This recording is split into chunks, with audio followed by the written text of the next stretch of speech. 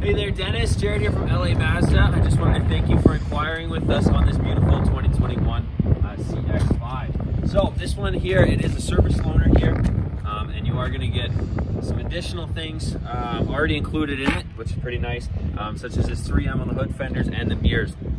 Just something to protect it from the rock chips.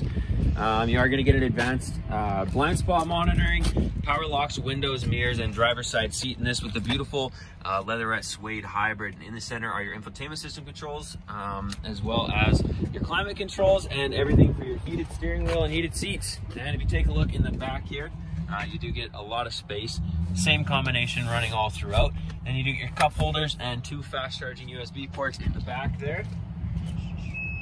This is all-wheel drive and it does have a power lift gate.